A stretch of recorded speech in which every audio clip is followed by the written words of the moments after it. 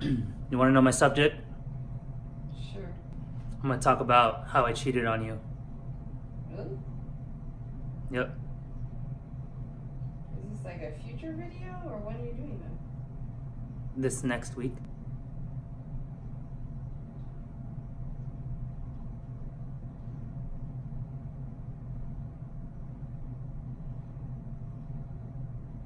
Is that all you have to say? Yeah. Are you? Hello, my belly is showing. That was not the response I was hoping for. In the name of the Father, Son, Holy Spirit. Yes, family, it is true. I did cheat on Melinda. This was a long time ago, a different lifetime ago. Um, while I know that it can be a very sensitive subject to a lot of people, um, please understand that Melinda and I have come to a place where we are very comfortable speaking about it because I think we both understand that a lot of marriages experience this sometime in one way or another. However, a marriage has experienced it. Um, we can relate. And if no one talks about it, then how are we gonna start the healing process from it?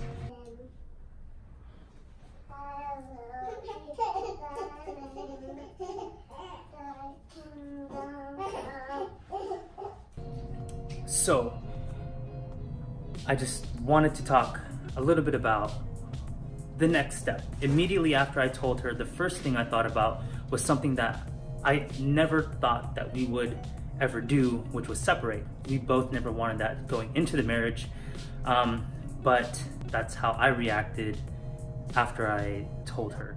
Against us. Ezzy, come here. Hey, you stay here. Come here.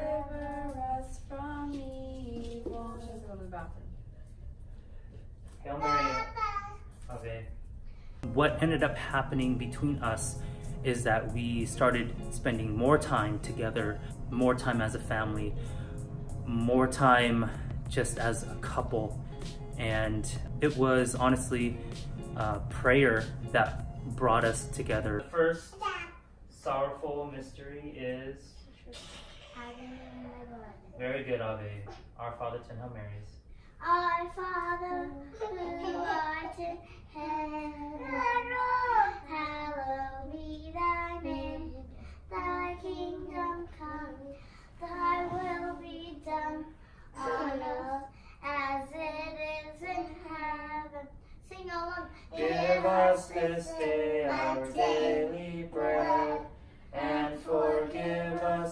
If you are a couple that has experienced something like this, if you know a couple that is experiencing something like this, I can only encourage um, those couples to find something that brings them and the family back together. For us, it was prayer.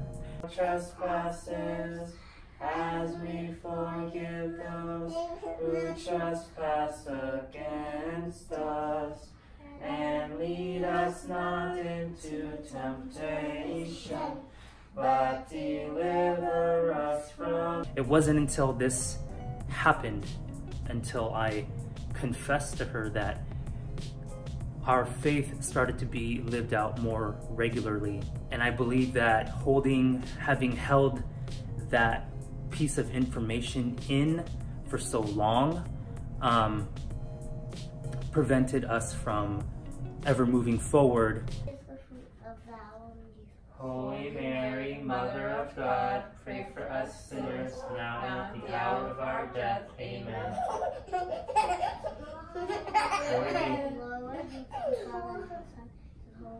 As it was in the beginning, is now, and ever shall be, world. Amen. Oh Jesus, forgive us our sins, save us from the fires of So, as hard as it may be, I also would very highly encourage um, couples to be extremely honest with one another. In life afterwards, I have found that honesty heals. And I hope that Melinda was able to heal better because she knew that I was being completely honest from from there forward. I can't lie about having a donut, let alone anything worse than having a donut for the day that I wasn't supposed to have. So, um, honesty. Honesty is key. Give us this day our daily bread, trespasses, as we forgive those. Hey, you hand it to her. Don't throw it at her. And most important thing, um, keep God the center of your relationship because ultimately, what are you building on if it's if it's not God, the creator of the universe, who created everything from sand to my toenails. Sorrowful mystery is what? No, No, that's the fourth. no, no, no, And then a mace. Our Father, ten Hail Marys. no, no, no. Stop playing with him. No, no, no, no. No, no, no, no. Stop playing with him. I wouldn't have been able to go forward in our relationship had I not told Melinda the truth. And when I told Melinda, I was very upfront with my friends and my family and all those around me because they needed to know what we were going through. In heaven, hallowed be thy name. Thy kingdom come, thy will be done on earth as it is in heaven. Give us this day our daily bread. Forgive us our trespasses, As we forgive those who trespass against us, and lead us not into temptation, but deliver us from evil. Hail Mary, full of grace, the Lord is with thee. Blessed art thou among women, and blessed is the fruit of thy womb, Jesus. Holy Mary. Mother of God, pray for us. And I think it's important for you to know, for us to move forward in this family relationship, that you should know what type of person I am, what I have been capable of doing, what I have done, good or bad. And I just believe that you need to know the power of Jesus Christ and his healing power it was through admitting my weakness to Melinda that Jesus was able to pour his power into me and through me. It is through sharing my truth with others that others can begin to heal once they know that they are not alone in their struggles.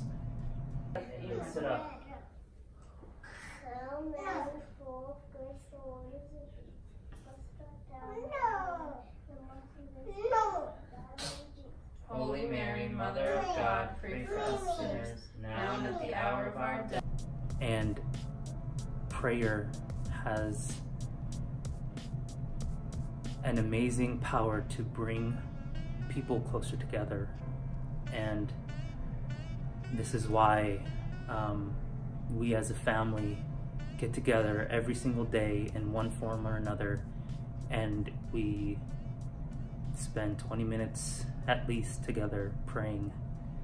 Um, if not here on our floor then um, somewhere. But we unite together every day in prayer as a family. O Mother of the Word incarnate, despise not my petitions, but in thy mercy hear and answer me. Amen. In the name of the Father, Son, Holy Spirit.